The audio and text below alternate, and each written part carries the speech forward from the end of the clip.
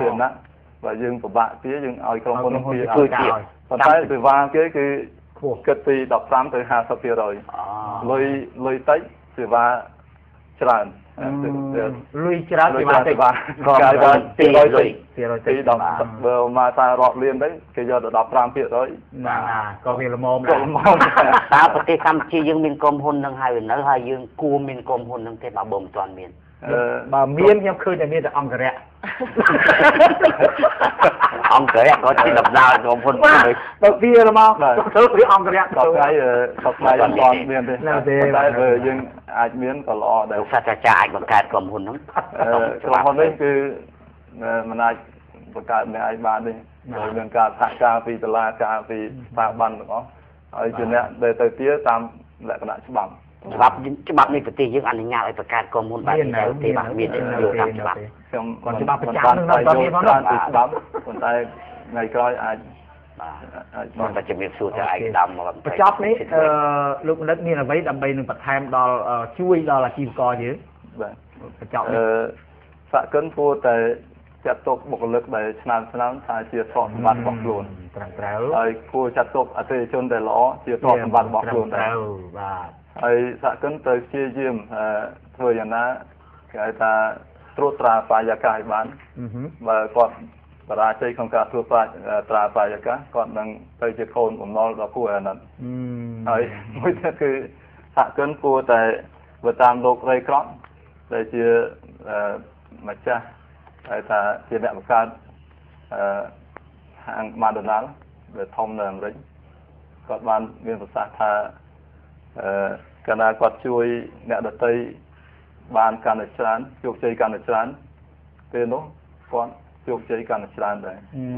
អូត្រូវជួយអ្នកដទៃឲ្យបានជោគជ័យកាន់តែច្រើនយើងក៏បានជោគជ័យច្រើនបានន័យថាអូមកថាយើងផលិតកុំព្យូទ័រអញ្ចឹង បើអ្នកប្រើយកទៅប្រើជោគជ័យគេផ្សព្វផ្សាយអ្នកផ្សេងណាណាគេមកទិញមកទៀតបាទផ្សេងទៀតបាទហើយបើគេប្រើប្រាជ័យត្រឹមគឺឲ្យគេមកផ្សេងទៀតជាការពិតបាទអរគុណណាស់លោកបណ្ឌិតដែលបានផ្ដល់អូហូតិចតួចក៏ប៉ុន្តែមានប្រយោជន៍ច្រើនបាទ បាទប្រិយមិត្តទូទាំងជនកម្មវិធីពីអ៊ីនធឺណិតយើងក៏សន្មត់ចប់តែប៉ុណ្ណេះតែមុននឹងបាយពីប្រិយមិត្តទូទាំងជនជាទម្លាប់គឺយើងនឹងផ្ដល់នៅបទចម្រៀងដល់ពិរោះនៃរមណីយដ្ឋាននៅក្នុងប្រទេសរាជាណាចក្រកម្ពុជាយើងតែលើកនេះគឺយើងនឹងជូននៅទស្សនវិជ្ជាទេសចរដ៏ស្អាតចម្រៀងដល់ពិរោះនៅ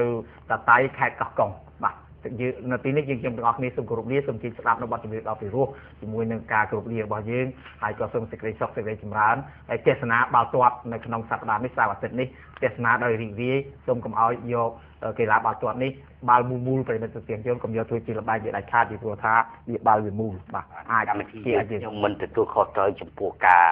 ចាប់ប្រទេសណាប្រទេសណាឲ្យភ្នាល់ជាប្រាក់នងជាដាច់ខាតបាទបាទកុំទូរស័ព្ទមកពីលោកអឺឃីវកាឡាទៀតពីព្រោះប៉ះសិនបើថាគាត់ចាញ់បាទសូមអរគុណសូមគោរពលាបាទសូមអរគុណ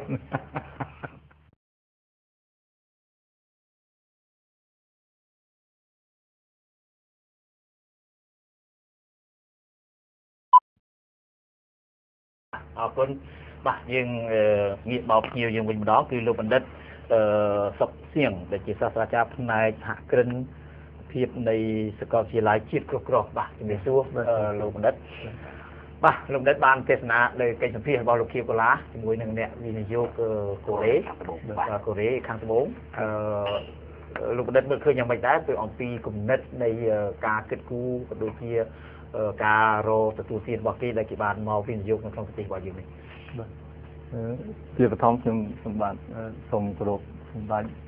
លោកនាយកនិងសហការីជាពិសេសទូតអឺទស្សនិកជនជាទីស្នេហាបាទ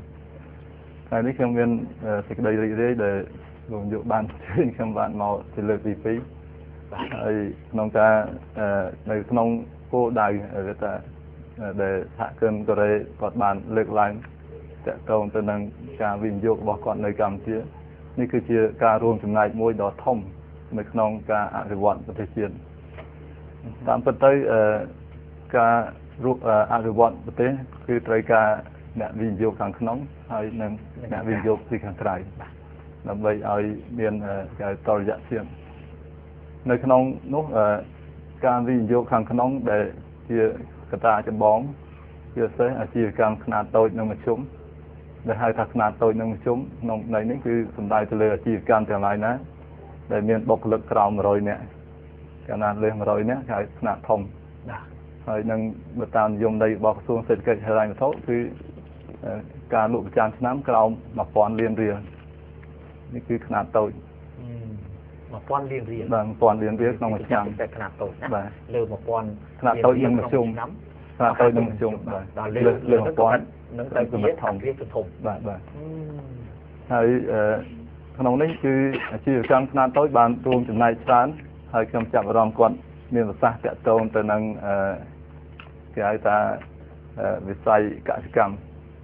តាមពិតរោងចក្រម៉ាស៊ីនកិនស្រូវនៅកម្ពុជាយើងទៅតាមទិន្នន័យក្រសួងអឺឧស្សាហកម្មគឺមានដល់ទៅ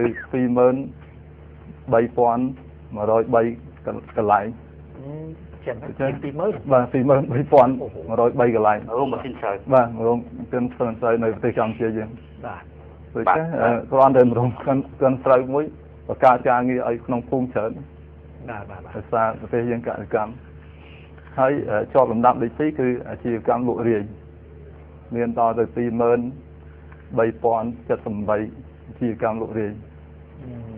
ដូច្នេះអឺមានចំនួនច្រើន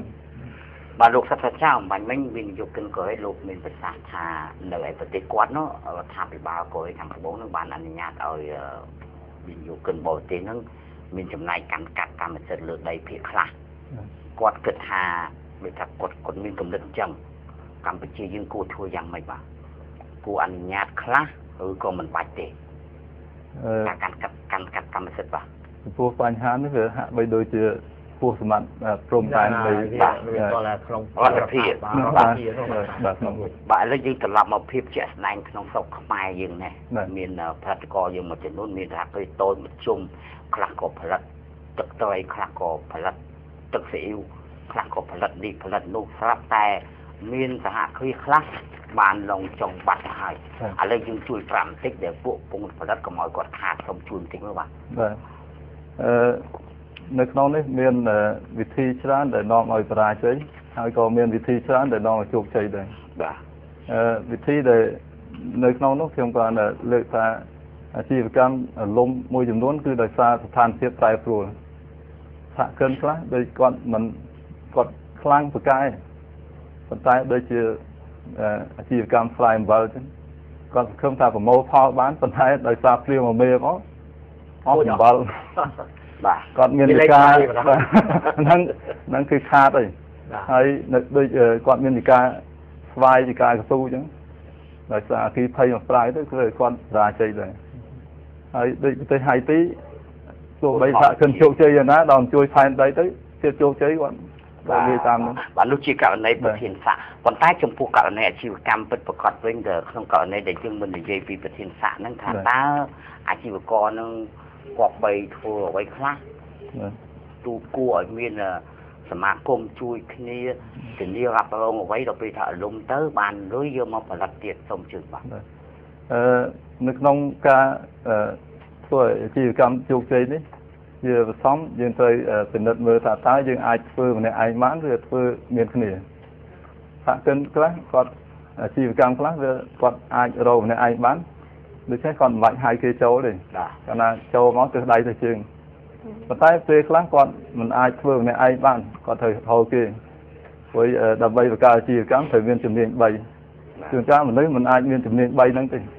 ដូច្នេះគាត់ត្រូវរត់ទៅអោបអ្នកដែលមានជំនាញមួយទៀត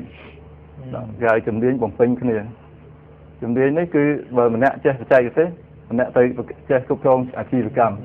បាទនៅពេលដែលពីរនាក់ហ្នឹងទៅធ្វើការគ្នាគឺអត់មានចំនួនគ្នាទេ ព្រោះទៅកាន់មុខងារផ្សេងគ្នា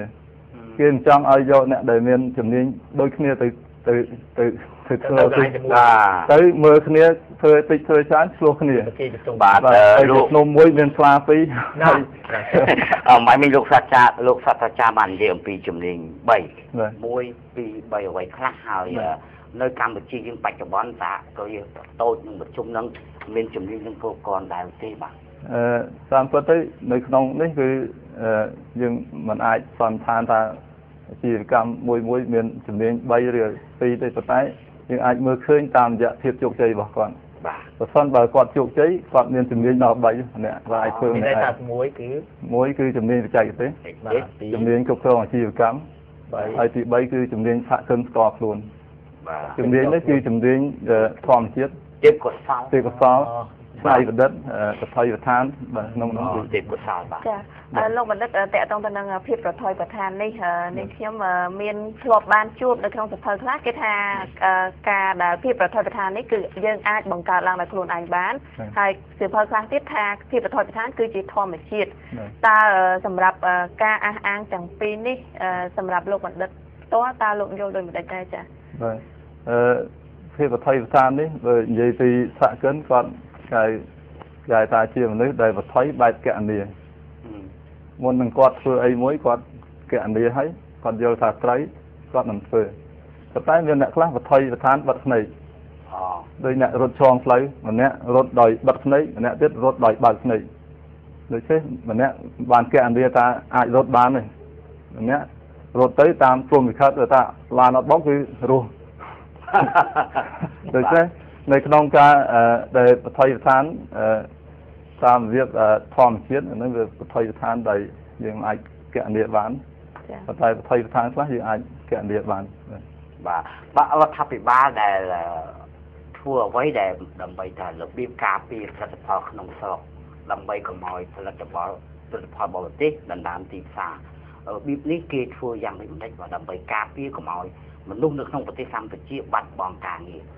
ខណៈបាត់បង់ការងារបាត់ប្រាក់ចំណូលមានបញ្ហាធ្វើយ៉ាងដូចម្ដេចចំពោះនេះបាទតកតទៅនឹងផលិតផលបាទចម្លើយមានច្រើនប៉ុន្តែគាត់តែខ្ញុំលើកថាប្រទេសកម្ពុជាយើងគួរតែអឺបង្កើតរដ្ឋាភិបាលគួរបង្កើនច្រកអឺនាំចេញឲ្យបានច្រើនច្រកនាំចេញនេះពាក្យថានាំចេញវាមិនមែនចាំបាច់យកទៅស្រុកគេទេសូម្បីតែម៉ូតូកង់3នៅស្រុកខ្មែរហ្នឹងក៏នាំចេញដែរព្រោះភ្ញៀវពាក្យថានាំចេញបានន័យភ្ញៀវ ជិះពីអាមេរិកមកមកជិះម៉ូតូកង់3ស្រុកខ្មែរអូដូច្នេះពាក្យហ្នឹងនាំចេញបាត់ទេអូអូអូយល់ហើយអឺបើដើម្បីបង្កើនការនាំចេញរដ្ឋាភិបាលគ្រាន់តែបង្កើតអឺផ្សាររាត្រីឲ្យបានរាល់ថ្ងៃតាមខេត្តក្រុងព្រួយទេសចរមកដល់ទិញហើយដឹកទៅខ្លួនឯងហ្មងផ្ទះបាត់ដូច្នេះផ្ទះគាត់ប្រទេសគាត់ដូច្នេះយើងមិនបាច់នាំទៅដល់ស្រុកគេឲ្យតែយើងបង្កើតផ្សាររាត្រីបានច្រើនដូចកំពង់សោមអត់មានផ្សាររាត្រីទេសចរចង់ដើរទៅយប់ទិញអីវ៉ាន់ នៅពេលដែលគេទៅវិញគេនឹងនាំអីវ៉ាន់ទៅជាមួយគេដល់នេះក៏ជាការនាំចេញបាទនាំចេញបាទបាទថាក្រោយពីនេះនៅមានអ្វីទៀតដើម្បីអឺជួយរក្សាការងារកុំឲ្យបាត់បង់បាទដូចខ្ញុំបញ្ជាក់អំបញ្ញមិញថាបើសិនជាបាត់បង់ការងារមនុស្សមិនមានប្រាក់ចំណូលបាទយើងធ្វើអ្វីខ្លះដើម្បីបង្កើនការងារថែមទៀតហើយអ្នកមានការងារស្រាប់ហ្នឹងឲ្យការងារហ្នឹងកាន់តែរឹងប៉ឹងទទួលកម្រៃបានកាន់តែច្រើនជាងមុនក្នុងក្បួនខ្នាតសេដ្ឋកិច្ចគេធ្វើយ៉ាងដូចម្ដេចបាទអឺ នៅអូស្ត្រាលីមកក្នុងមួយឆ្នាំមានក្រុមហ៊ុនអឺបិទទ្វារចំនួន50000ទៅ80000ហឹមប៉ុន្តែក្នុងឆ្នាំដដែលកើត50000ទៅ80000អូដូច្នេះអឺបំលាស់ការបិទទ្វារក្រុមហ៊ុនមួយទៅបើកទ្វារមួយទៀតដូច្នេះបុគ្គអឺកម្មករអាចរត់ទៅពីកន្លែងមួយទៅកន្លែងមួយដែលដែលសារសេដ្ឋកិច្ចមានការរីកចម្រើនជួនកាលកើតអឺចំនួនអាជីវកម្មកើតវាច្រើនជាងស្លាប់ទៀតដូច្នេះអឺ រដ្ឋាភិបាលគ្រាន់តែទប់ស្កាត់គេហៅថាកុំឲ្យអឺមានការរំខានទៅអាជីវកម្មខ្នាតតូចព្រោះនៅក្នុងប្រទេសមួយចំនួនគេហៅថាមានមន្ត្រីមួយចំនួនគាត់ទៅរំខានអាជីវកម្មខ្នាតតូចគាត់មិនទៅជួយបណ្ដោះបណ្ដាលថាឲ្យចេះឲ្យចេះរកស៊ីប៉ុន្តែគាត់ទៅរំខានគ្នាគ្រាន់តែឃើញមន្ត្រីនឹងតមកគ្នាដូចលើកទឹកទាំងជ័យសោះហើយហើយហើយខ្លាចបាទហើយជួនកាលកិច្ចទៀតបាទដូច្នេះកន្លែងហ្នឹងដែល ដែលរដ្ឋាភិបាលគួរតែទប់ស្កាត់កុំឲ្យទៅរំខានច្រើនតិចតែគាត់ថាគាត់មានទៅរំខានអីក៏ភ័យអីដែរកន្លែងហ្នឹងឯងលោកបណ្ឌិតបាទថាយើងពិបាករកចំណុចដោះស្រាយមួយបាទរកអឺអ្នកដែល